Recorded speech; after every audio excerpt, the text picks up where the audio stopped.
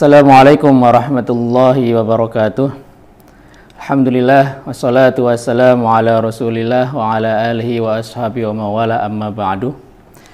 Jamaah suaimin suaimat yang dirahmati oleh Allah Subhanahu wa taala. Alhamdulillah kita masih diberikan nikmat oleh Allah Subhanahu wa taala. Kita masih diberikan kesempatan untuk bisa terus mencicipi, merasakan lezatnya hidangan bulan Ramadan yang insya Allah akan mengantarkan kita kepada ridho Allah Subhanahu wa taala. Berupa nanti kita di hari akhir kita dibebaskan dari siksa api neraka. Amin. Allahumma amin. Suaimin suaimat yang dirahmati oleh Allah Subhanahu wa taala. Kita semua tentunya sudah banyak mengetahui tentang fadilah dan keutamaan atau juga keistimewaan di, di bulan Ramadan.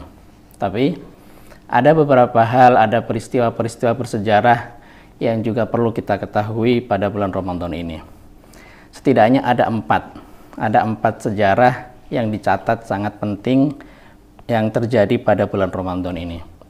Peristiwa bersejarah yang pertama adalah peristiwa nuzulul Quran, di mana pada peristiwa ini Rasulullah SAW tidak hanya sekedar menerima wahyu, tetapi juga sebelum terjadi turunnya wahyu, Rasulullah SAW telah menjalankan sebuah tirakat atau menjalankan sebuah usaha yang di situ sangat sangat penting karena tidak hanya dalam bentuk berkholwat tetapi juga usaha-usaha lain yang itu yang ini tentunya menjadi sarana untuk penyucian jiwa dan juga pembersihan diri. Peristiwa ini terjadi pada tanggal 17 Ramadan sebelum 13 tahun sebelum Hijriah. Kemudian peristiwa yang kedua itu adalah peristiwa Perang Badar, di mana Perang Badar ini digambarkan sebagai sebuah peperangan yang sangat fenomenal. Karena di sini jumlah kaum muslimin yang sangat sedikit bisa mengalahkan jumlah kafir Quraisy yang begitu banyak.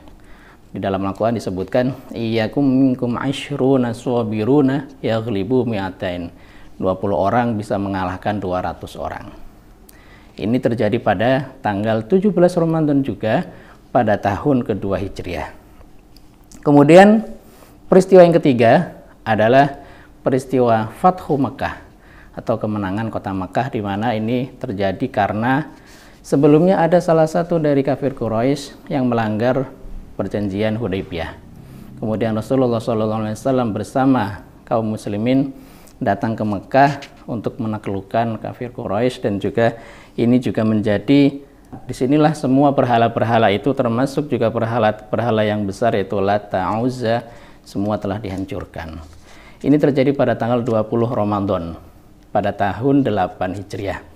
Kemudian yang keempat, ini yang paling penting buat kita, ini adalah peristiwa kemerdekaan Indonesia. Peristiwa merdekanya Indonesia dari penjajahan Belanda terjadi pada tanggal 9 Ramadan.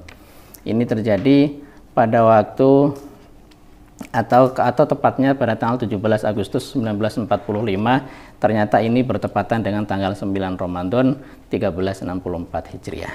Maka ini jadi momentum penting bahwa pada bulan Ramadan ini tidak hanya ibadah tapi juga justru banyak terjadi peristiwa-peristiwa bersejarah yang sangat penting bagi kita.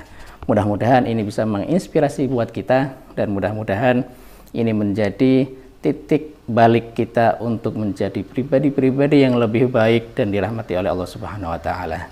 Selamat berpuasa dan teruslah beraktivitas, teruslah menjadi pribadi-pribadi yang inspiratif dan mudah-mudahan kita bisa selalu sehat selalu. Wabillahi taufiq walhidayah. Wassalamualaikum warahmatullahi wabarakatuh.